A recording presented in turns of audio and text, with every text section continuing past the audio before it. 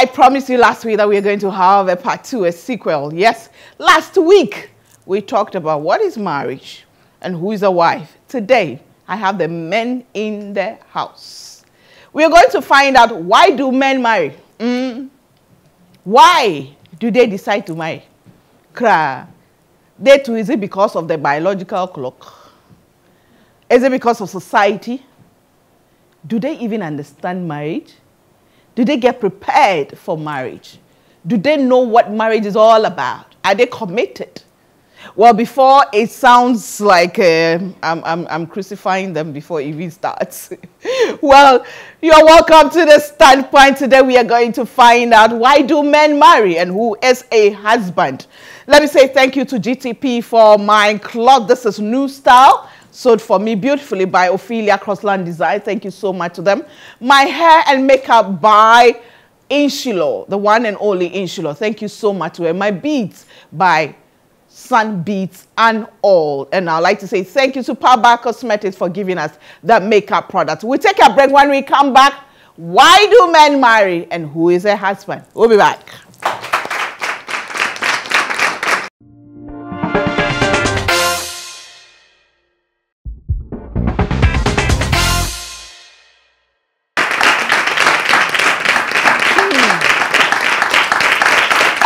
Welcome back. Who's watching the Standpoint? If you just joined us today, we are going to do a sequel to what we discussed last week.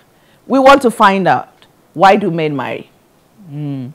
When I sent the message round, almost every woman said yes, they want to know why do men marry. Today we'll find out. I have three men in the studio uh, from different backgrounds, and they are going to tell us why, why men get married. But let me say thank you to ABN TV who rebroadcast this program on Sky Channel 195, which is across Western Europe, parts of Canada and Asia, and also Virgin TV on channel 842 in the United Kingdom. Our website, www.thestandpoint.com.gh, is powered by Dream Oval. Our YouTube channel is very, very active, and so you can subscribe anytime and have a review of any of the programs that you've missed.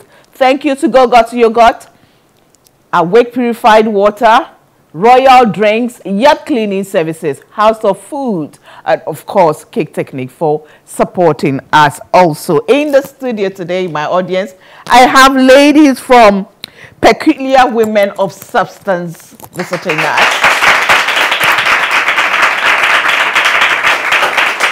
And then, of course, my good old GIJ representatives from GIJ here, Ghana Institute of Journalism. But on my panel, at my extreme left, I have Mr. Alfred Adote Kofi. He's a banker at ADB. Welcome to the standpoint. Next to Alfred, I have Mr. Franklin Ajete, principal of the British International School. Well, I must declare my, he's my brother, you know. We grew up together, okay? And next to him is my boss, my father, my everything, my counselor. And uh, people will come and, you know, ask you questions like, okay, so what has Gifty has been confiding in you about? he is a Reverend Canon Patrick Okaija Botier. He's the parish priest, St. Andrew Anglican Church, Abossey Okai, Abossey Okai. Abossey Okai.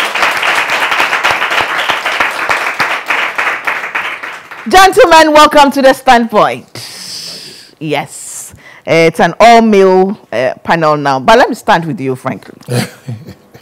okay. How long have you been married? Um, almost getting to 14 years. 14 years. Yeah. Why did you get married?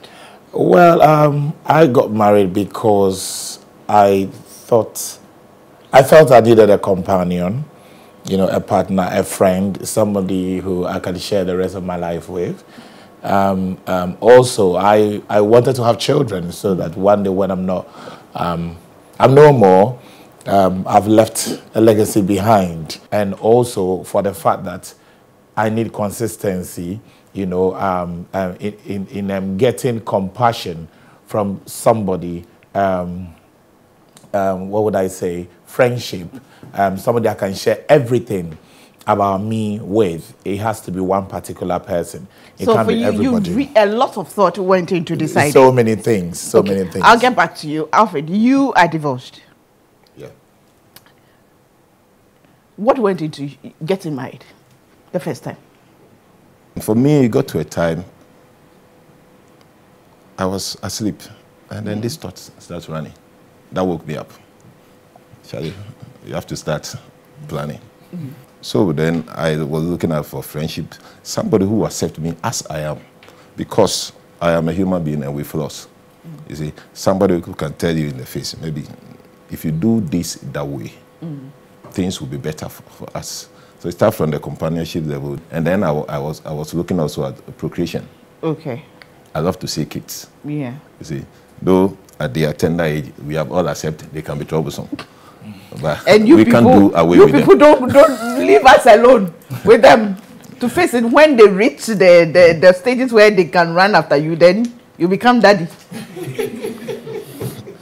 It- it- that's nature. Bishop, Bishop will talk. Eh, okay, we so hear apart from you. the companionship, then I was looking at procreation. Then the life support. Okay. Life support as also. Mine, I can say there was no that much pressure. The pressure was from within. For- okay. You understand? How long were you married for before you divorced? Five years. You were ma- uh, Five years. Yeah. Okay. So if all these things went into it, how come you didn't survive it? A lot of things went in it. I'll be back. Let me come to All right. Canon. All right. Uh, Canon, uh, how long have you been married for? Ah, 14 years. 14 years. Yeah, August, was- uh, October was 14. yeah. October was Yeah, 14. 16th October. Okay. Uh, three days before my, for my wife's Okay. birthday. All right. Let's talk about you before we come to the. hey, three days before your wife's birthday, Yes. you got married. Yes. Hey, Bishop, why didn't you wait and marry her on her birthday? No, oh, no, three days to her birthday. Three days to her birthday. Birthday, not mine. Oh, her birthday. It's all Okay. about her. Marriage is about, wedding is about the woman. So, Canon, are you sure? yes. Okay. So why, was targeted at the birthday. Alfred? I know I like you.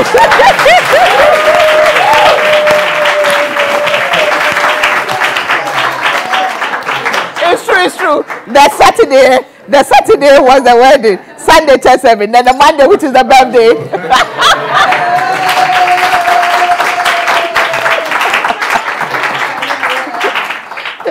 Canon, why did you marry?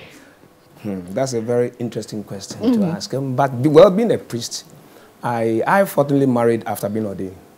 Oh, okay. Yes, because I went You to were a- priest before. Yes, I mean, that's a peculiar situation. So marriage is not a requirement for being a priest. Um, well, I In the was, Anglican- I was left out of the hook. I mean, it was an exceptional case okay. uh, because I had then finished school after an engineer at the age of 27, went to the priesthood.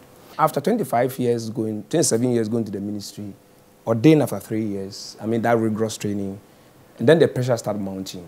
I mean, I had no clue. I mean, even after 30, I was not even thinking about marriage.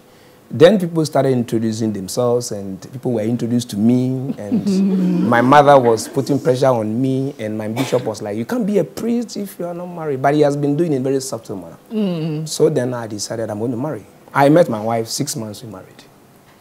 We never knew each other before. We never crossed each other's path before. I mean, we've not met anywhere before.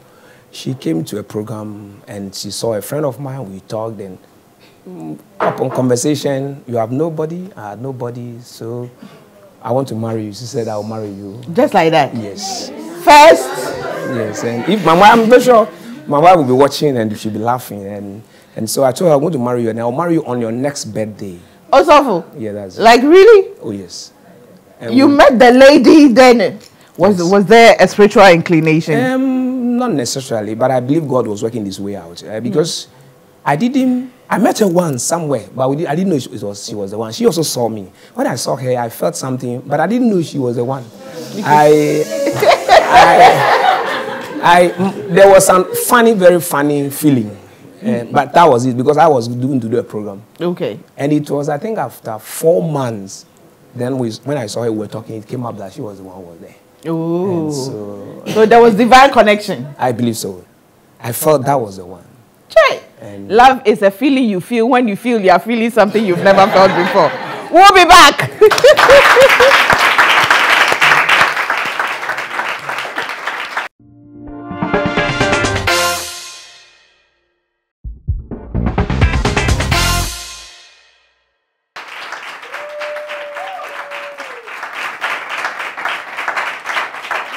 Welcome back to the standpoint. Why do men marry? At least we've seen or we've heard why the three men on my panel this evening got married.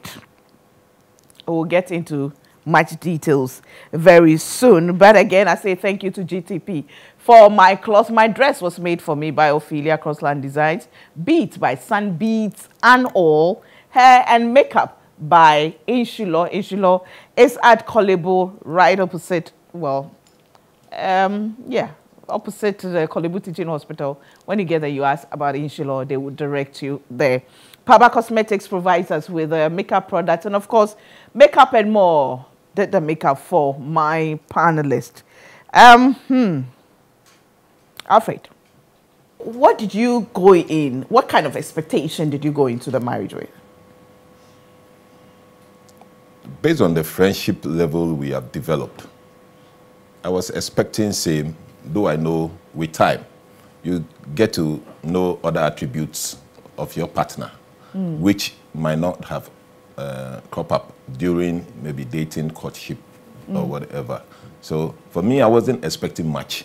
Mm. All I want to be is always happy and maybe smiling. One that is there, I think the rest challenges to come, mm. but we have to surmount it and move along. So really? I wasn't expecting. You didn't have any expectations going in there? I did not go into it with that much expectation. I went to into marriage to be happy, living life together, doing stuff together, and the rest mm. benefits will follow. Mm. Yeah. Frankie, what about you? Did you understand marriage? Yes, um, at the time that um, I wanted to get married, I understood it. And um, I made a decision um, I had expectations, you know, and um, my expectations were um, respect, you know, and a no turning back. So once I put my head in there, that's it. When I, once I decide that this is the woman I'm going to be with, that's it. So if she comes, whatever flaws she comes with, I'm going to embrace everything and then and try and turn it around because I have a nature where um, whatever is not right before people, I go for it and, and make a change for people to see what I've been able to do. So I love this transformation thing. So for me, marriage was finding that person. But funny enough, when I met my partner, I wasn't sure.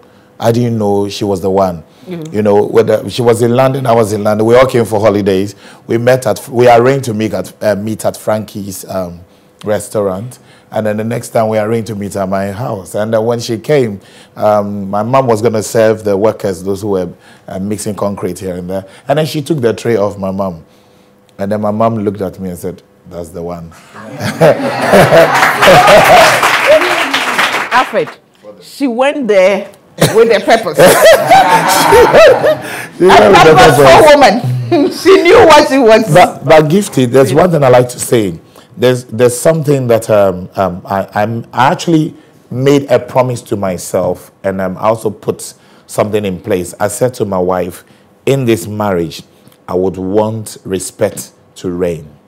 I wouldn't want you to insult me. I wouldn't want to insult you too. I wouldn't want to kiss my teeth at you or cut my eyes at you. I wouldn't want us to sleep over anger, you know, because I made that choice. Because for me, coming from um, um, a broken home, I don't want that for my children. So I don't want to get into that marriage and divorce. And my mom had gone through divorce before. So she said to me, Frankie, it is not easy when you go through divorce. Your conscience is very difficult.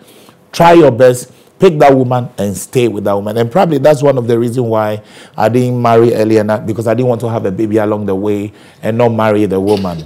So I, I said that to my wife. And up to now, we're almost 14 years We've not insulted each other.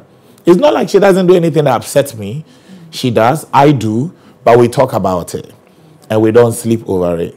And we're always fine with respect. Nobody has ever come to tell me, oh, I think your wife is cheating or something. Neither has anyone anyone gone to tell my wife um, that I think Frankie is doing it because we don't give ears to it. Everything is between the two of us, and we're always happy. And we, we have two children. Now, it's to the glory of God. To the glory of God.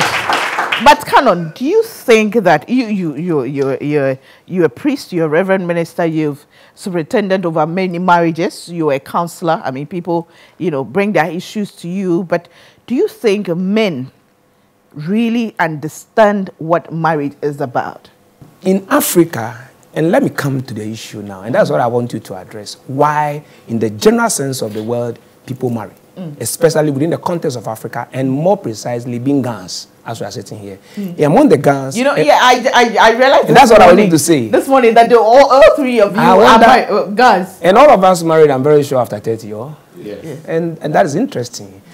Uh, I don't know how you did the selection, but uh, you know, when you were, I'm sure you was the last person you considered. Yes. Uh, and you see, among the Gans, a man will not go to a woman's house to marry him or her. Your father will marry for you. So in the Ghana tradition called engagement or traditional marriage, you don't see men at the marriage ceremony. You see only women. Your father will look at you and say, I am about to leave this world. You are my next generation. And you will continue the family lineage by marrying. Mm. So then, if men are not made to understand the essence of marriage, we'll have a lot of problems. So when people come to me, one of the guys that I asked, why do you marry or why do you want to? You know what he said? He said, Father, I believe that I've come to a point of living not alone, but to live with somebody. And I've found a woman I feel is worth keeping. And that understatement, that statement, worth keeping, is the bottom line. That if you are going to marry somebody and you are not sure the person is worth keeping, you have no business marrying the person because it's a long time decision. But unfortunately, we don't prepare the people very well so far as our world is concerned. And that is where the problem is. And I must add that um, uh, Reverend Canon has a traditional background, you know, so um, that maybe one of these days we'll do a one-on-one -on -one with him, you know. His background, interesting background from from priesthood to priesthood. from a different priesthood to priesthood, you know. So he, he has both backgrounds. But Alfred, you were not nodding when, you know, um, Canon was talking. You know, one of the reasons why, you know, this is a women's program, we did this program, is the fact that consistently women feel that when men marry, you know, they, they get want to have a wife and still be a single guy. Mm just yes i'm a responsible everybody knows this is my wife but then give me my respect yes i have the kids but i still want to be free i want to fly you know like a butterfly do everything men you know i'm a man so it's you the woman who has to make the marriage work it's not really the responsibility of the man and so we have many homes where wives are hurting Alfred. Yeah. Gifty. What is the problem? Uh, Gifty, to a larger extent, your assertion is true. I think the transformation, transforming from singlehood to a married life, sometimes is there's a gap. I don't think it's been well addressed. Because to marry, you start counseling. And sometimes counseling, most of the topics discussed does, does not really focus on the transition mm. from that angle you are now to where you want to be. The focus is rather on how things are going to be. Mm. But if you don't get there correctly, things might not go well. When you settle down, you are married, and kids start coming, life can still not be the same way. Mm. You see, if you want life to remain the same way, then there should be a consensus between the two of you. Mm. But most often, one is out there, and one is in there. Mm -hmm. Sometimes not for maybe tangible reasons, but for social reasons that some can be skipped. Mm. You see. But the other challenge of men is that at the initial stages, you know, this is how I am. -hmm. You see. After marriage, you want a sharp contrast of me is difficult. So is it a problem of lack of communication and understanding each other that in this journey called marriage, there are changes. Priorities may change as you go along. Yeah, you said it all. I think the lack of communication and understanding. Because as children come in, circumstances changes. And men have to also adjust to the change. Mm -hmm. Because by default, the women are able to adjust very quickly. Mm. But the men, sometimes it takes forever to adjust.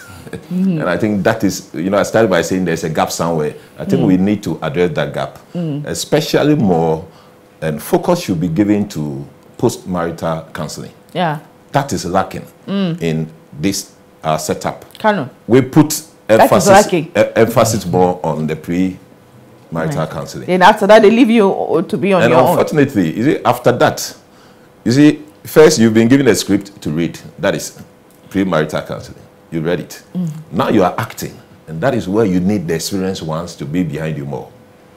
If, if counseling after marriage is very giving, is giving serious attention, it would um, and um, it will prevent families from either the ladies' end or the, the gentleman's end from coming into the marriage.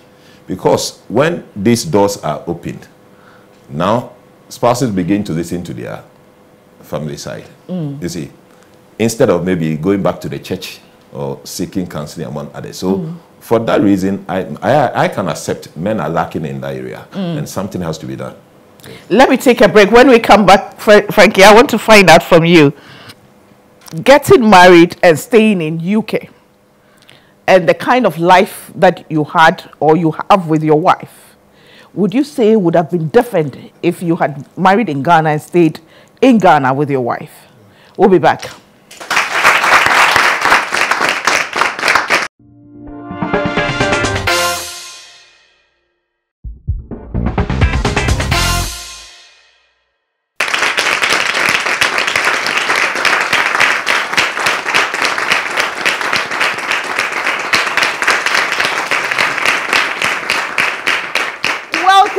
To the standpoint. The standpoint is also aired on ABN TV on Sky Channel 195 across Western Europe, parts of Canada and Asia. We are also on Virgin TV 842 in the United Kingdom. Our website www.thestandpoint.com.gh It is powered by Dream Oval.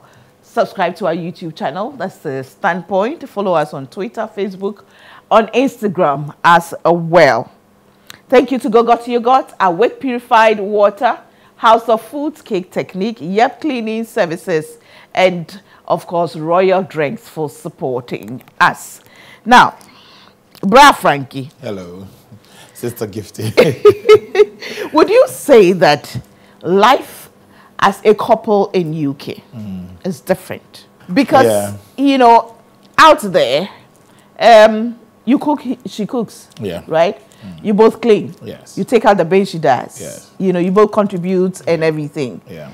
But here in GH, here in GH, things are most of the time different. Different, yeah. Mm. Would you say that it, it was easier? Mm. Or it's been easier because you left your life out there? No interferences anyway. Yeah. Um, yes, I think so because um, when we got we got married in the UK, and um, from the the culture is different from here, and then we also don't have a family, and um, um, you know especially moms around. So you know that as the husband, you should be out there to support your wives. So right from you know home, I can confidently say that there was some um, particular um, food that my wife was not used to cooking, and we, we, we learned how to cook it together. And now she's better; she's got doctorate in it than, than I do. Um, we when we had from from pregnancy to childbirth, I was there. I had to be there because there was nobody. You know, then looking after the children. You know, when you're talking about um, men going out there and having fun. I mean, we didn't have the choice well, we had a choice, but it, it, it, didn't look nice for you to leave your wife and go and have fun when there's a baby around and your wife has to have a me time. You know, you have to help hold the baby. Oh, that mean me time. Me time. Yeah, Ghana here. Your wife needs a me time. When you you know, so I have to come back from work and come and look after baby, so my wife can go and work as well. You know, and when I'm looking after the baby, I'm changing nappy, I'm washing baby, I'm doing all these things because we attended antenatal um, together and we were trained together. I mean, childbirth, I was there you know, and they make you understand everything. Now, the culture in England is totally different from here. So obviously, I would say that that helped me a lot. Um, education plays a big role. We were not taught at school what marriage is. we were not even giving um, um, sex education. So we've been told that sex is wrong. You know, all we think is once you get married, it's all sex, sex, sex, sex, sex. So we, we connote You, that. you only have you have the license to have sex Is- when yes, you get when, into when, marriage. when you get into marriage. you know. why are you laughing?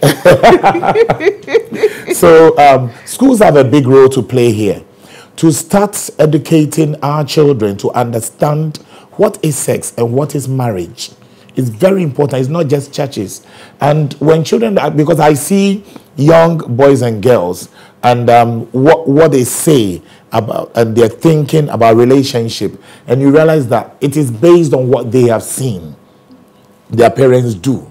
So that's how they see marriage. You know, there's another aspect that is lacking in our um, education, which is critical thinking, reasoning. Because we don't teach children to critically think about things, they get into marriage and nobody knows what you're going to encounter. But when you encounter something, you should critically think about it and understand okay, the woman is different. I'm a man, I'm different, but we are married. This is where we come together. The woman is working, doing this, so probably I need to stop this work today and I'm going to cook or we're going to go out to eat. You need to be the leader. Or the consequences of your actions, whatever action, or how Yes. you react to the how you react. In all this how do i show respect? We're not trained. We are not taught what respect is. We know that respect is good morning sir. Oh fine boy. Go down. And, and sorry. And, and you know you get up for an adult. That isn't the only thing about respect. Respect is how you treat me. What you think about me. If you ask me to come here at two and i'm not here at two it's disrespect.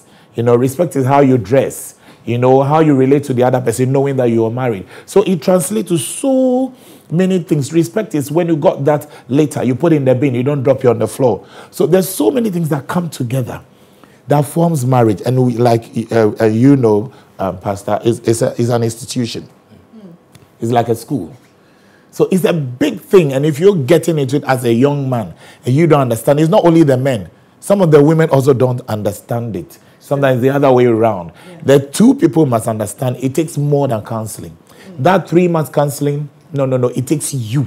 do men understand that whatever happens in the marriage, it is a choice.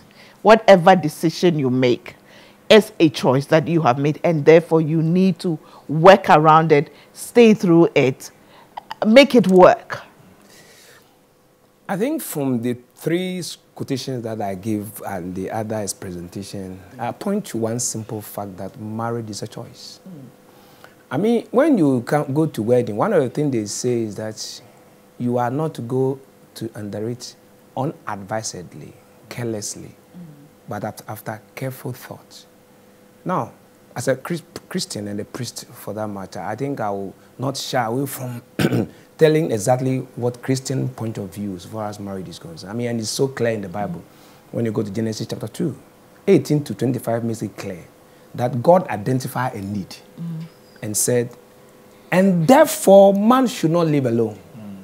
That was a need identification. And God provided the need by producing a woman from the rib of a man. So God identified a need, God provided the need. Man accepted the need by saying, This is a bone of my bone and the flesh of my flesh. Then, when that is done, taking a decision. When God provided, you must take a decision. And that's where the difference comes in. That man shall leave his mother and his father and shall be together. And the word clearly means that they shall be bonded in a way that when you are separating them, it's not possible. But the, the, the, the, the, the, this is where the, I mean, the bargaining chip is. And they were both naked. Hmm. And they felt, felt no no shame. shame. So there's nothing like boring comes in. And I keep on saying that the issue about being naked and not feeling no shame has its sociological implication, hmm. as its marital implication, as its social implication, as its financial implication, it has its physiological implication. I mean, every aspect of human life, you will see the nakedness of the person you've married. The reason being that you make a choice that I am marrying somebody whose taste and preferences will change in the years to come. But come what may, I'll still live with that person. I mean, that is the issue. But you can't just be laissez faire and say it is falling the woman to make it work. Please, if it happens that way, but you see, there's a cultural issue also. Yeah. The cultural issue about the fact that the woman has been done a favor. Mm -hmm. Yeah. So now she has to pay back. And you see, this issue comes in also. Because on the wedding day, the emphasis is on the woman. Look, you know, all women take their name for men managers, patroness, Mrs.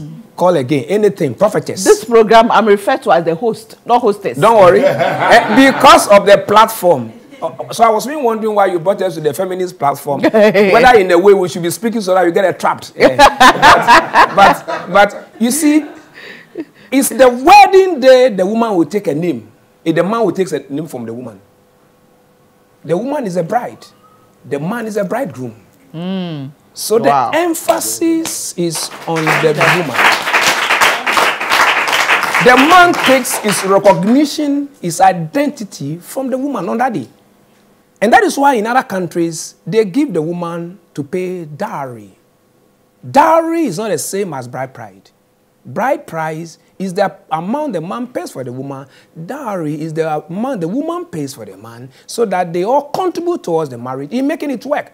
So if we are thinking that the man has given all to the woman and the woman has to come and now justify a selection as the wife, then there's a problem. So the point I want to make here is that men must know that they are head of the house. It's incumbent on them to provide financial security, social security, societal security, physiological security, I mean spiritual security, all should come from the man. And when that is given, 99% of women will positively react. Because life is all about reciprocal living. When you give to person, the person will positively respond. Do all these things. I believe that when that is done, On that note, on that note, um, I promise you that we'll do another program on who is a husband. Another program on what who is a husband, and I, I think it's been very enlightening, very educative. And I have a couple who I'll be interviewing one of these days um, very soon. They actually broke up, they divorced for six months, and they've come back and um, they want to share their story on their experiences. so how do you call them? Ex-divorcee Ex divorcee, and come back. re, money. re, re, remarried. I wonder how the legal effect is going to be. I'll be back with a bit of me. Thank you very much.